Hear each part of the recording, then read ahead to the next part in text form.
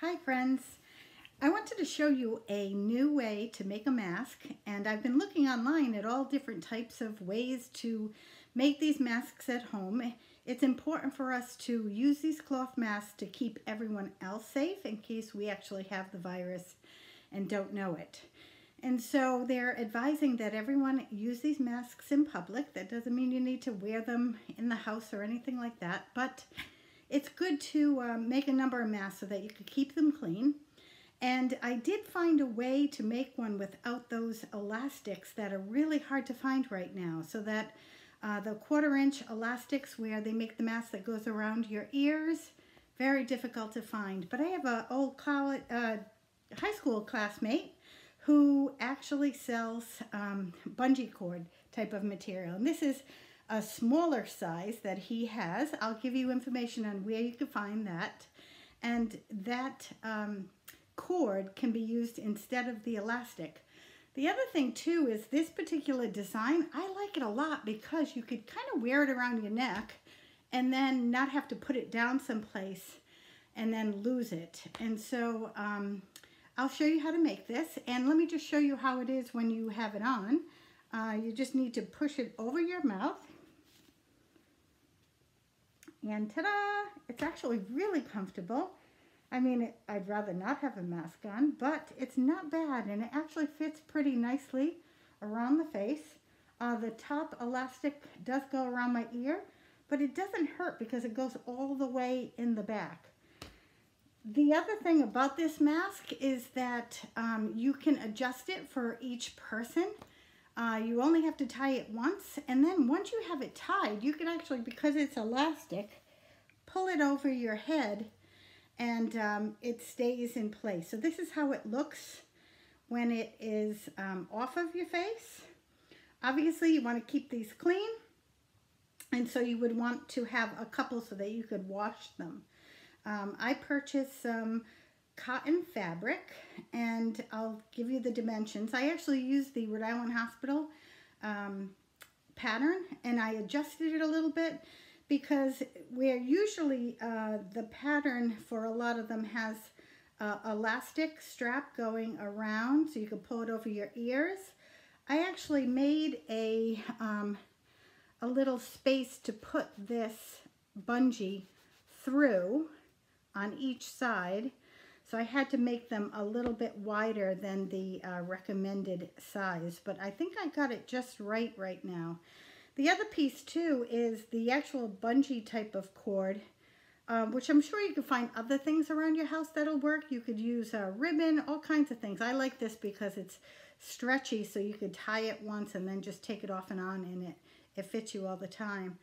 But um, you could purchase, if you wanted to purchase this, I know somebody who sells it by the large spools, and I'll give you that information a little bit later. But uh, in today's day and age, it's all about improvising. And so you just figure out what you can do uh, and with what materials you may have. So anyway, without further ado, let me go downstairs and I'll show you step by step how to make the mask. See you soon. In step one, you'll need to cut pieces of fabric. I, and we use 100% um, cotton, kind of a close weave, good fabric. Cut those pieces 9 inches wide by 14 and a half inches long. And I cut all my pieces all at once so I could kind of um, do it in assembly line.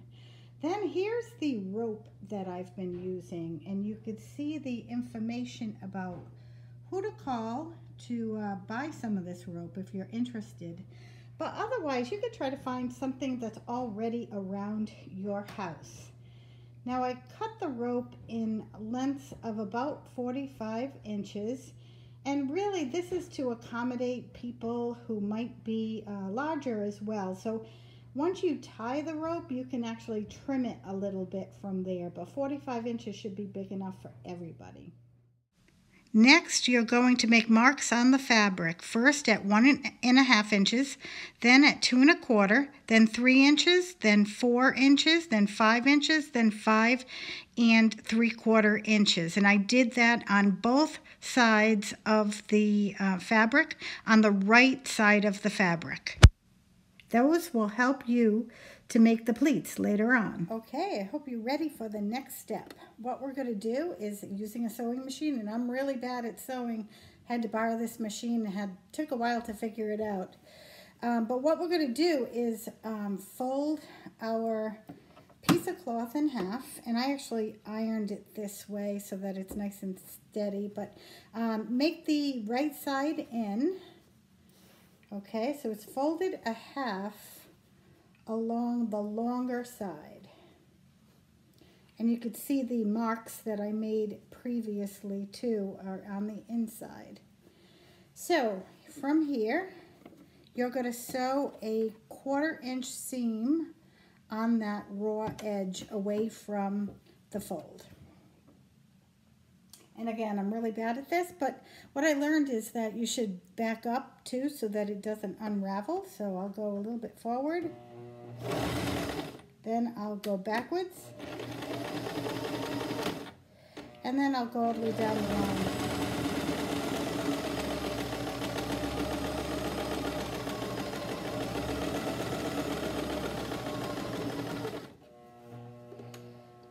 Backwards.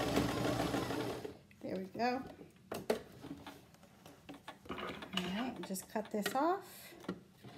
And now you'll turn it right side out.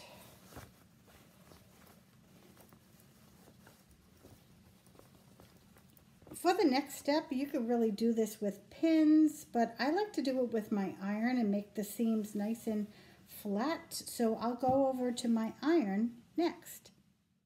Next, I'll iron my piece flat, making sure that the fold is at the top from the top, and by the way, make sure your markings too are um, able to be seen. From the top, pinch on the first marking and then bring it down to the third marking so that the second marking is a flat uh, fold. And then iron that shut. Do the same thing with the next three markings so that you end up with a three pleated piece of cloth and then I last iron that nice and flat. This takes some practice. So because I ironed these, there's really no need for pins. I didn't have any pins at home, so this worked out. Um, it does take a while to get the pleats. I mean, the idea of pinching the top, moving it over to the um, correct space, ironing it down, but it should look like this.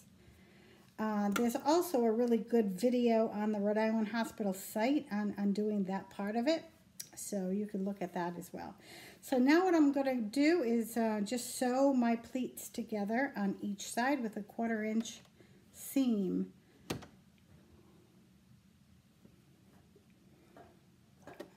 Turn it on first. So now what I'm going to do is sew my um, pleats together with a quarter inch seam.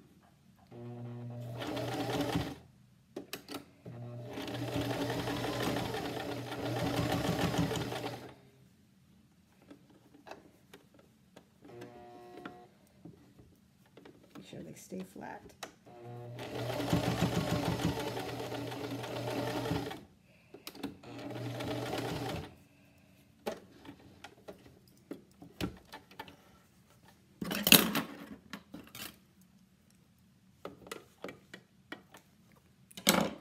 There you go. And I'll do the other side the same way.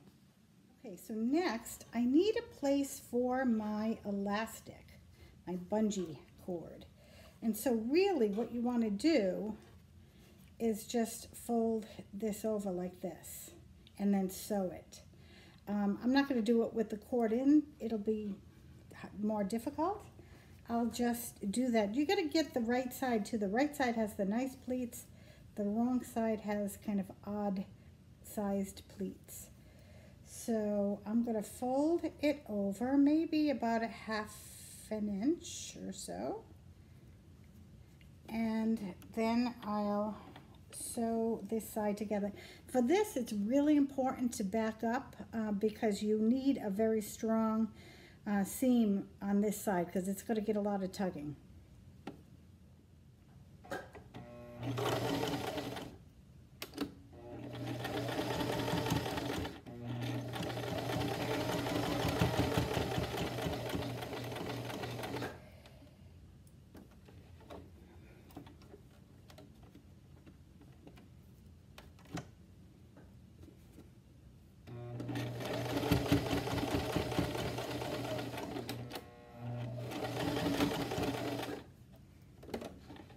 I'm sure you could tell I'm a bad sewer, but it still works. It's not beautiful, but it works. It's good to trim all those loose pieces of thread. Hmm. Not too bad. I'll do the other side as well.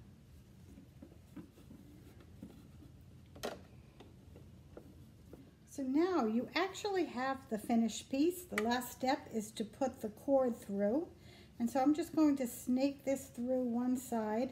There's one side that's always easier than the other because of the um, direction of the pleats. And then my other end can go through this side.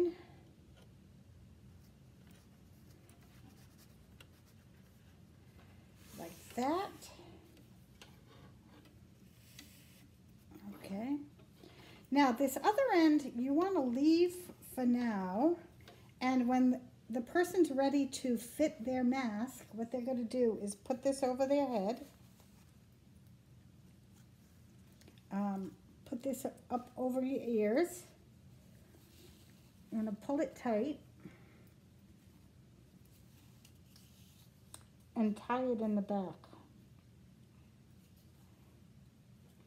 And you want to tie it kind of snugly because otherwise it'll be falling off all the time. All right, and you have to play with it the first time.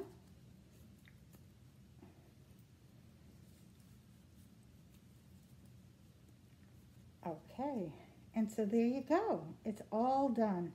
Um, what you want to do is, like I said, tie it snugly, and then you can take it off and on all day, and it works. Um, it has an elastic so you can stretch it to get it back over your head and then get it on the next day. And look at how much um, more bungee than I really need. So if you're making this for women or children, you probably don't need the 45 inches. You might need uh, more like three feet. But um, I'm making some of these for our custodians. So I'm going to leave them long so that they can make them as loose as they want and it doesn't matter uh, what their size is.